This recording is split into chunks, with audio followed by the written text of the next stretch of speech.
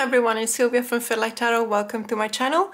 If you're a Sunlight or a Starlight member, you will be seeing this video one week before everyone else as part of your membership perks so that you can reach out to me if there's any of these decks that might be of interest to you. This is, sorry I forgot to say, this is my monthly rehoming video so I'm just going to show you the decks, the Tarot and Oracle decks that are going to leave my collection this month. And as always, this uh, means absolutely nothing uh, when it comes to the uh, way in which I appreciate the decks. Um, most of the time it's because I get a hold of um, more than one copy of a deck and so I sell the ones that, uh, you know, the, the, the, uh, certain, the, the plus ones and uh, in some other cases for example I got a hold of a different edition of the deck and so I'm selling either the mass market or the previous or the um, uh, the next edition of a deck. And uh, but the, there's a bit of everything so let's see what I've got. So let's start with this one. This is not necessarily an oracle deck. It's called the uh, listening to flowers. Um, by Dina Salisi, illustrated by Audrey Violet, and um, it's a positive affirmation deck uh, using the Bach flowers. And I used to be fascinated by the um, philosophy behind the Bach flowers. Uh, this is, by the way, absolutely um, not, the, the spine of this has not been broken. I, I'm always extremely careful whenever I look at uh, books, especially when it's a deck that I'm not entirely sure that I want to keep. I just make sure that everything is pristine. So when I do decide, if I do decide to reharm it, then uh, you know I can offer the same um, the deck with the same kind of um, pristine features. It's a really beautiful deck. Uh, it's printed on art paper and so it's actually really really nice. Uh, the images are really gorgeous as well and uh, to each and every one of these obviously there is the corresponding uh, Bach flower and if you flip the card you will see what it says. So for Vervain uh, we have a, an affirmation. So I relax and allow life to unfold peacefully. I transform tension into calm. I soften my views and trust in a higher power. So um, these are really really beautiful. Obviously it's a botanical theme deck um, sometimes you can also, if especially if you know the properties of these plants, you can actually use it uh, for divination purposes. Um, I let me just have a look at the book. So, for example, okay, now I, I thought that uh, there would have been a bit more of an information about the um, uh, the plants but at the beginning uh, you do have something so so say see here for example says loneliness water violet impatient heather and uh, and obviously then you have the cards but it does refer back to the groups of the uh, Bach flowers to which they refer to. And uh, I guess that's also something that you can probably use in a divination system if you want or at least any other use you can do of a, um, a botanical theme oracle deck. As I said, really, really beautiful, but I don't know anything about it. And uh, when I got it, I thought to myself, I'm going to have time and I'm going to be able to go down the rabbit hole and have a look at what um, these uh, do, what the meanings are, uh, what actually the uh, Bach flowers do. And I just never had time and uh, it just is such a beautiful deck and it just sits there on the shelf gathering dust and I think it's just not very fair to the deck itself. And you will see that this is mainly what drives me when I'm rehoming, when I'm doing a rehoming um, call on my decks because I, I just feel that uh, many of these decks have so much power and such a vibrant energy and it's really unfair of me to just let them you know on on the shelves and not do anything about them. The second deck is um, another one that is strictly speaking not an oracle nor a tarot deck. It's a deck of mushrooms and i feel like 2023 has been the year of mushrooms because we had so many tarot decks and oracle decks especially with uh, mushrooms as a theme And so during the Mushroom Mania of 2023, I bought pretty much all of them. And now I feel like I actually rehomed almost, almost all of them, I would say. And uh, this one is extremely informative. So obviously you've got the images in here. Uh, but on the images themselves, you only see the English name for the specific mushroom and the Latin name and you have to flip the card and then you can see all sorts of information pertaining to that. So you've got appearance growth and uses. Um, it's very very unique. Um, it's again it's a really um, not as great a art uh, paper as the listening to flowers deck but it is a very um, high quality deck and I have been using it a few times in combination with the all of the other mushroom stack that I had accumulated during the year. The Midnight Magic, the magical what was it, the Mushroom Spirit Oracle. Uh, that one was published by Rockpool, I seem to remember. And there were a few others indie decks always uh, themed uh, after mushrooms and it works really well besides one of these because most of these you can actually find most of these mushrooms you can actually find them in uh, the other decks mushroom decks. But in itself because I rehomed most of the others I feel that this one is just kind of lonely and so it's definitely gonna go to a new loving home that will be you know will be able to appreciate it and uh, perhaps even use it for you know their personal knowledge as opposed to perhaps using it as an oracle. And just in in order uh, so I'm also this I've decided to rehome the Ad I love these decks. I have the Pythia Botanica and I have the uh, Ophidia Rosa uh, by the same creator I unfortunately I cannot really find any specific space in my collection or more likely in my tarot practice when it comes to the Ad Orbita uh, deck which is indeed very beautiful. Um, Nicole Rallis, by the way, is the name of the creator. It's very beautiful. I really love this deck. I mean, look, everything about it is fantastic. Even the uh, uh, the two pieces box and uh, there's uh, a leaflet here with all the meanings of the cards. And the cardstock is, is phenomenal and uh, I love what I really love about these decks especially the Ophidia Rosa is the color choices of the edges. I mean isn't this absolutely fantastic? It might be one of the most beautiful edging work I've ever seen and especially because when you do that you see the difference in yellow this orangey yellow with the blue of the backs and it's just absolutely fantastic. What happens with this deck is that uh, there's nothing wrong with it. It's beautiful. I've almost never used it. I do look at it every now and then and I just convince myself that it's gonna go to a better home. Simply because I when I feel that I need this kind of muted color palette, minimalist art style, I actually reach out for the Ophidia Rosa, which is one of my favorite decks. And so this one is always, it's always as if it were the little sister of the Ophidia Rosa and it's very unfair to this deck. Even though the theme is different because Ad Orbita does refer back to the, uh, the planets as well. But then again, if I had a bigger book, um, you know, I would probably get into it uh, but I don't and I don't even think that it has been released uh, or, or ever that it's actually meant to be read uh, you know with a bigger book.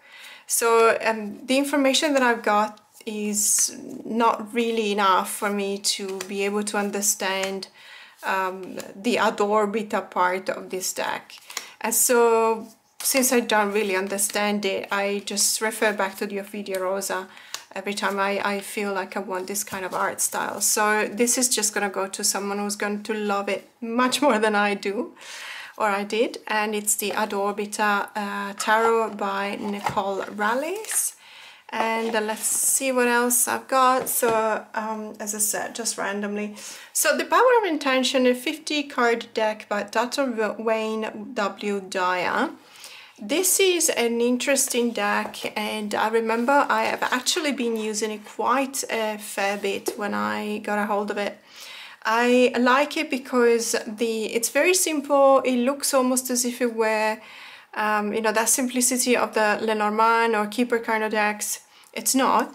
Um, it's got sentences, but the um, the association between the images and the sentences is actually really nice. Like the watering can with Be Kind, for example, banished out with uh, the the artist. I don't remember what this uh, what this is called, but they uh, they work in a circus and most of the time, oh, it could also be an athlete doing some performance at the Olympics, but it's obviously banished out because you always doubt in yourself that you can actually do um, what you're supposed to be doing or what you want to do. Be humble with the pie, you know, humble pie, grasp the essence of infinity, of course, with the uh, camera. Find your purpose and so on and so forth. And it's really beautiful and all of the backgrounds change. And now, I don't know if you can probably, you can probably tell, but it's a semi-gloss kind of cardstock which is one of the problems for me about this deck, that it, it, it, the cards tend to stick together and it's very difficult to actually find them out. I really, really do love the association between the images, um, which are very minimalist as well, and the sentences or the messages at the bottom of the cards. And on top of everything, if you flip the card, there's actually even more. So when we look at this one, meditate regularly with a, a, clock, you have take some time to be silent and repeat the sound of God. As an inner mantra, meditation allows you to make conscious contact with your source and regain the power of intention. Ironically, that's power of intention is the name of the deck. Uh, what happens is that I don't use this deck because I feel like uh, it, it would be best used by someone who is uh, who probably does um, believe in God. And uh, in my case, it's complicated. You know, when you update your relationship status on Facebook, or at least us, we need we used to do that all the time. I don't think that Facebook now is very popular anymore. But you know, when you put you put it from uh, the relationship status is complicated, and that's where I am basically.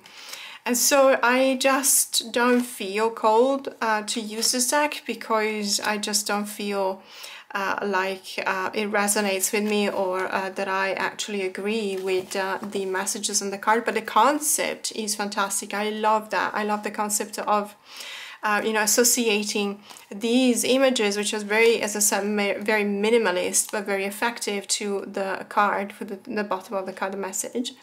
And I know that I could just focus on these and not necessarily read the backs um, but I, as always, I mean, I'm rehoming this because it can be used by someone else and I'm pretty sure that there will be someone that will appreciate it a lot more uh, than I did. And then the next two, it kind of breaks my heart, but I just don't use them. And this is, again, it falls into the category of saying, I'm not doing you justice. I'm just gonna try and rehome you and see whether someone else will be um, honoring you and uh, these are both by the same creator Olivia Rose and I just absolutely love the art style and uh, I've shown the Mind's Eye Tarot a few times in my channel I just don't feel like I reach for either of them and especially even less so the Heart's Eye Oracle. Uh, this is an indie deck and this is a mass market deck, so the Tarot's mass market. I don't know whether they will release the uh, Oracle deck as a mass market deck as well. These are incredibly beautiful decks. I mean, as you can see, the art style is amazing. The colors are fantastic. And I follow Olivia Rose's Instagram account and I love everything she does. It's just, uh, and the keywords especially are excellent. I really cannot deal with these borders these borders to me, had it stopped, you know, at the black border here, I would have been happier. But the fact that uh, it has, it does have an additional skin color um, um, border, I, I, just really don't like them. And uh, I cannot even modify this deck because as you can see the keyword is in between the black lines so had it been a bit further up I would have just cut off the, uh, the pink border. But then again, it is an indie deck and I think that now it's out of print and uh, I just told myself never to modify an indie deck ever again, especially the ones that go out of print. I can still do that if it comes to mass market decks where, that are readily available. But when it comes to indie decks, I just don't do it anymore. And so this is, it's really beautiful. I'm just going to show you together how they read. So the Mind's Eye Tarot, this is a mass market deck and it has been published by uh, US Games. I have to say one of the reasons why I'm not using is because really the guidebook brings me nothing. Um, it is very general, it doesn't give you any kind of additional insight or layer of uh, interpretation or knowledge. Um, yes, I love that there is a full page in color with the card, but then again, I've got the cards. I just wanted to know what the artists were thinking about choosing that particular artwork. And as I said it's one of those decks the cardstock is amazing. It's a very soft linen finish by the way. Uh, it's got a really powerful very nice looking gold gilding. And uh, because it is a mass market deck to be honest if I feel like I really want it I am not I'm not beyond rebuying a deck, especially if it's a mass market deck. I mean, in some cases I bought indie decks and I rehomed and like the Pagan Other Worlds, for example, I'm in a love-hate relationship with that deck. I keep on buying it and rehoming them because the cardstock is just driving me insane because I every time I shuffle it, I have to hike around the room to pick up the cards that are just flying away from me. Uh, so it clearly, clearly doesn't want me. But as you can see, obviously these two pair up really well together because the art style is the same and uh, you're not even too disturbed by the presence of borders in the cards of the Oracle. But what happens is that these two, it makes me feel like these two can only be paired up one with the other. And when I do pair them up, even though it's incredible that we have the same kind of characters, on the other hand, they become very busy, uh, which is kind of frustrating for me um, because um, there's just so many elements to look at, there's so many lines, and I know that it's very specific to this kind of artwork. It, it is like this and it's beautiful because it is so special and unique. But on the other hand, when I'm reading, I kind of need something less overwhelming when it comes to um, the senses and also what happens is that I kind of tend to see the tarot deck as a, a little bit dark, not as in meaning, but it, literally as in color or, you know, the presence of brightness or the absence of brightness in this case. And uh, something that I couldn't really see in the Oracle deck, and I do think that it might be related to the fact that, one, it doesn't have borders, perhaps uh, the fact that this one appears a little bit brighter depends on the bright borders, but also because the, probably the cardstock is making it look a little bit more dull when it comes to the colors and I can see through the lens now and I can see that you can't really tell in the sense that obviously the lens is applying a layer of sharpening and white balance and so it, it doesn't feel that way but I can assure you that in real life it's a a, let's say a bit of a darker kind of deck. And I would love for it to be um, a bit brighter. I would probably use it more. And again please understand I love it and I love Olivia Rose's work. It's fantastic. It's just that um, I don't find myself reaching out for these two decks and I just really want them to go to someone who is going to be able to appreciate them uh, definitely more than me. So these, as I said, both by the same author. It's the Heart's Eye Oracle. This is an indie deck. And by the way, there's another oracle by the same creator, which is called the Mermaid's Purse. Also indie, but I don't know whether it, that one will come out mass market or not. And the Mind's Eye Tarot. This one is a mass market deck published by um, US Games. I think last year. It's not a super new deck, but it's not an old one either. And so these two for sure. And then I'm so sorry to say that I try my best to try and see whether I resonate with this deck, but it just doesn't work for me. And I really did try. I mean, if you follow my channel, you will know how many times I actually try to connect with this deck and it just doesn't do any anything for me. And um, and and it's not it gets to the point that I feel like I'm cringing when I see it because I'm like, oh, I should really work with this deck and then no matter what I try and do, I reach out for a different deck every time. And it's a beautiful deck. Look, we've got Frida. Of course, it's a beautiful deck. Frida as the Queen of Cups. Um, it's very empowering. Uh, it does have that kind of cosmic vibes that I do associate with other decks. And that might probably be the problem because it means that uh, I have other decks that fill this space in my collection. And when I reach out for, I don't, when I feel like I want those kind of vibes, I reach out for the other decks and not this one. And so, sorry, I forgot to say, it's the Serpent Fire Tarot duh, by the Bunny Wolf. And she also is the creator of uh, the, um, the She-Wolf Tarot and the Celestial, but no, um, there's another deck, sorry, I don't remember the name. And uh, the Bunny was saying that this is the seventh and last edition. She has no intention of coming out with an eighth edition of this deck. And I think now it's even out of print. And so I'm thinking, okay, well, you know, there's probably someone who missed out on this deck and uh, they probably want it. And, uh, and so I'll, I'll just, you know, I'll just rehome it. I'll just rehome it. I, uh, I give up on my quest uh, to try and find some kind of connecting point uh, with the deck, which really does not mean anything. It just means it's very personal and um, you know what I mean? It's that deck that you really want to love, but I'm just not, um, I'm just not paying it enough attention. And it, again, it's it's really got to do with me and, and nothing with the tarot deck. Then there's this one, which is the Bonfire Tarot, uh, the mass market edition that I don't, I have the book, but I think I'm going to keep the book, so it's just the cards, not even the box. And the reason why I'm rehoming this is because I love this deck so much I actually splurged on the indie deck. Uh, so this deck is amazing. Uh, I just can't wait to receive the indie deck because this is just so beautiful. I love everything about it. I love the symbology. I love the colors. I love the contrast and the vibrancy of these colors.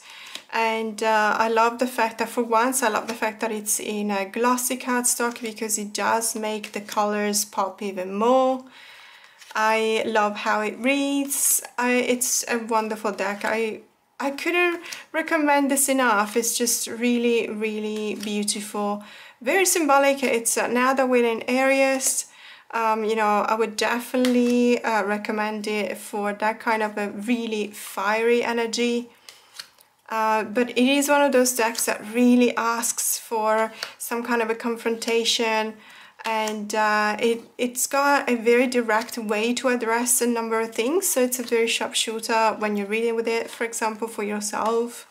I also use it for clients as well because it does have that kind of a directness that I like and uh, by Gabby Angus West. She lives in uh, uh, only 600 kilometers north from where I live and I just, you know, I would never rehome this deck. It's just that, as I said, I did receive, or, or I, I just purchased the uh, the indie edition, and so I'm just gonna let the uh, mass market edition go. The mass market is not only still in print. By the way, sorry, I forgot to mention this is the I think it's the first edition mass market. There is a second edition that has recently came out and it's in linen. The cardstock is in linen, but this is not. This is a glossy cardstock. So um, in case you were wondering, because I know that there's a few uh, that were waiting to get the um, mass market because of that.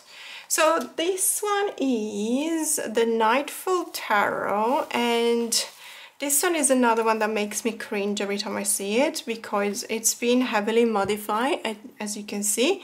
It's been trimmed off. It had it used to have huge borders and I also not only trimmed it but I also um, decorated the, uh, the edges. So first I edged it in uh, dark uh, well it's black basically and then I put some stars I um, draw some stars on them. The artwork is very beautiful. I actually really like this deck. What happened with this was when I got it I um, I bought it in Thailand and it's completely legit. I bought it from Kinokuniya in Bangkok. What happened was that uh, whether it's because of the temperatures, uh, the heat, or um, I don't know what happened but all of the cards were sticking together. And I remember filming these videos and having to apologize every couple of seconds and here I am doing the same all over again. So the cards were sticking together and I thought to myself it's probably because of the glue of the edging. So let's just go ahead and trim the edging off. And I did. And guess what? They still stick together. So I have no idea why these are sticking together like that um, so if you obviously oh sorry I forgot to mention uh, you're welcome to reach out to me. If you're a Starlight or a Starlight member uh, you have precedence. But just be aware that uh, because of shipping costs being absolutely ridiculous um, I will only sell I will only rehome um, indie decks overseas. So uh, if you're based in Australia you can reach out for any of these decks. If you're based overseas uh, please just reach out about the indie decks or it could be a mass market deck that is out of print. Because trust me if it's a mass market deck that is still in print you don't want to uh, buy it from me because it will be so much cheaper for you to get it from your local metaphysical store or your Amazon or uh, anything. So as I said this deck is just it's um I've done a good job of trimming if I say so myself um, but it's just that I don't know for what reason it is still sticking the cards are still sticking together. And I know for a fact that you only need to use the magician powder and just coat it with the magician, magician powder and so they will not be sticking it anymore.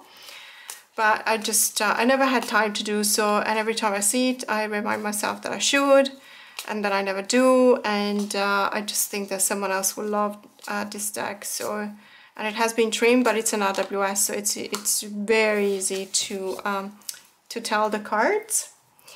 And uh, then let me show you. So this one is a very recent oracle published by um, Rockpool it's called the Oracle of Heaven and Hell which is basically it's two decks together in one. And uh, it, it, used to be called the Angel Tarot and the Occult Tarot by Travis McHenry. But Rockpool just um, you know made a combination of those two and put them all together in one now the reason why I'm rehoming this one is because I've actually found a copy that uh, has the box uh, which is a lot snuggier and which means that it um, when you pick it up by the top, for example, it doesn't fall. Um, because this one was driving me insane. And see, it's really small details like this, but you know, sometimes when you like things the way you want them and yeah that's one of the reasons why I'm rehoming this. So this is so I have a, a, a, different copy of this one. It's a really beautiful deck very very interesting. Uh, if you're into angels and demons this will give you the opportunity to go down the rabbit hole because it gives you all um, just a little bit of information that you might want to dig into. And it is a chunky deck. So as I said it's two, two decks put together it's got this really beautiful red gilding. Um, I um, I've only used this one a couple of times, so the gilding is still intact, as you can see. And it's just a really beautiful, beautiful deck. I, um, if you're familiar with the Angel Tarot and the Occult Tarot, you will definitely recognize some of these characters here, the some of the angels, some of the demons, um, I love the fact that we've got keywords, so you can definitely, this is one of those decks that is actually been designed to be shuffled with reversals. And so, um, you know, you'll be able to follow up on what the messages are, whether it's referring to a demon or an angel, to a positive message or a cautious message. And as I said, I don't know, uh, I reckon I only know 15% or 20% maximum of these angels and demons.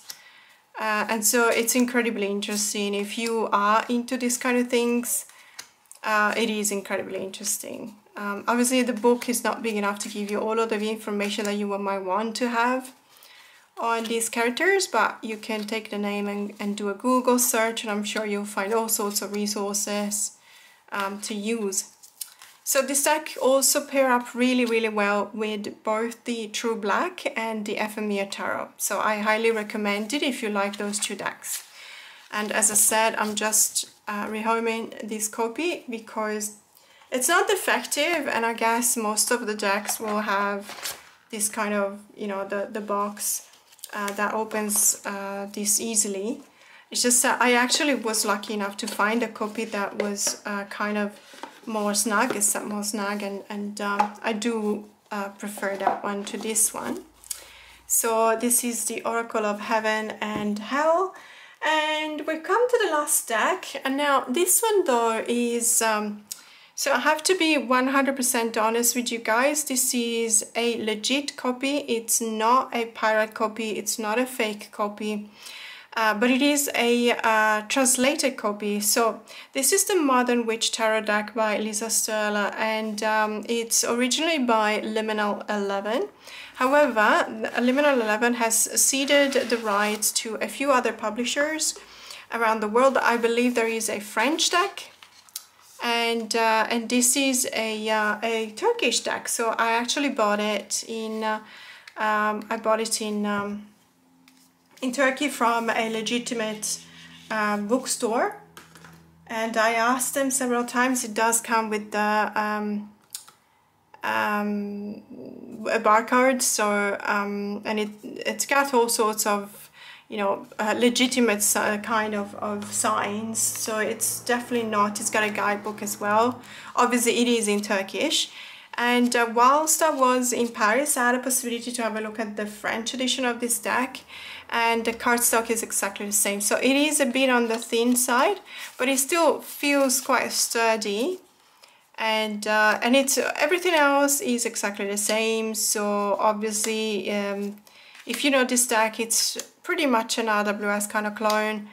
Um, it's really beautiful and the only reason why I'm rehoming this one is because I finally uh, got the uh, English edition so I don't need the Turkish edition anymore and this is just gonna go to someone who doesn't mind anything but you know what I was thinking to be honest it's also very easy to trim because it's such a clear reader uh, this is clearly nine of swords so uh, you know, either you don't pay attention to the words if that is distracting to you or you just can trim it, you know, trim off the, uh, the borders and the titles with them.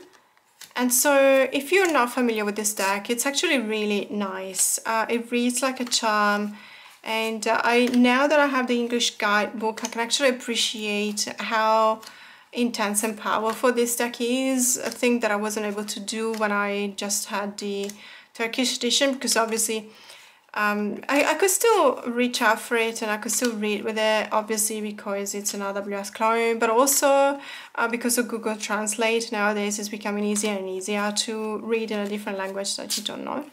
But so no, I just wanted to say I never, not once, show a fake deck simply because I don't have any and I would never do that. I have way too much respect for the creators. Now that was it for today and um, yeah, that, these are all the decks that I'm going to rehome in the month of April. So again, if you're a Sunlight or a Starlight members, you are seeing this video one week before everyone else. And so if you want, if you've seen an indie, if you're overseas, if you've seen an indie deck that you would like to get from me, then uh, please feel free to reach out and uh, otherwise I'm, I'm just gonna post it in uh, the usual uh, Facebook group. That's it for now. Thanks so much for being with me till the end of this video. See you next time.